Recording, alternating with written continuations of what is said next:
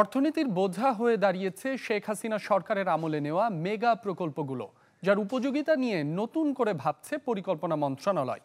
খতিয়ে দেখা হচ্ছে প্রকল্প গ্রহণের প্রেক্ষাপট, খরচের যৌক্তিকতা আর এসব প্রকল্প থেকে অর্থনীতিতে নতুন সংযোজনের বিষয়টি।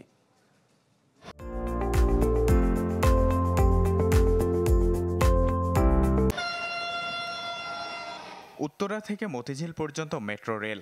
সাড়ে তেত্রিশ হাজার কোটি টাকার এই প্রকল্প রাজধানীবাসীকে যানজট থেকে খানিকটা স্বস্তি দিয়েছে সত্যি।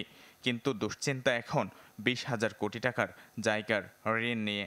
শুধু টিকিট বিক্রির টাকায় যা পরিশোধে লাগবে পঁয়তাল্লিশ বছর। মেগা প্রকল্প মানেই উন্নয়ন। এমন দর্শনকে সামনে রেখে বিপুল ব্যয়ের বড় প্রকল্পের দিকে ঝুঁকে বাংলাদেশ। রাজনৈতিক উদ্দেশ্যে নেয়া বেশিরভাগ প্রকল্পে আমলে নেওয়া হয়নি জনগুরুত্বের বিষয়টি। যার অর্থায়ন আর অর্থনীতিতে মূল্য সংযোজন নিয়ে এখন নতুন ভাবনায় অন্তর্বর্তী সরকার। দেখা হচ্ছে প্রকল্পের কর্মসংস্থান তৈরির সক্ষমতা, অর্থায়ন, ঋণ পরিশোধ সহ বাস্তবায়ন অগ্রগতির নানা দিক জানিয়ে কাজ করছে আইএমইডি।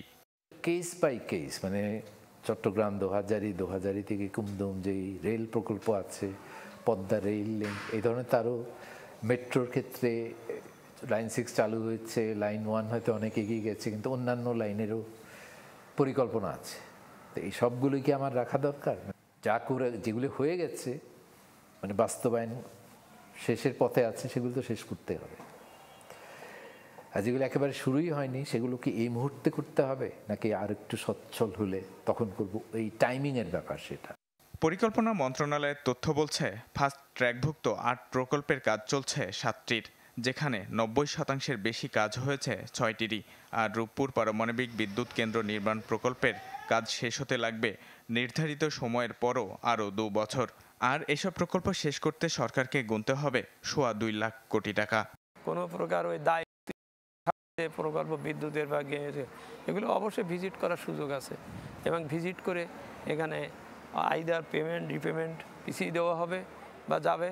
আর অথবা কাউকে যদি খুব পে করতে হয় তখন অন্য জায়গার থেকে সহজ সত্ত্বের ঋণ আনার এডিবি ওয়ার্ল্ড ব্যাংক যেগুলো চেষ্টা চলছে এগুলো হবে একটা ব্যবস্থা হবে আমি চলমান মেগা প্রকল্পগুলোর ব্যয়ের যৌক্তিকতা দেখবে IMED. Imdad Haque channel twenty Dhaka.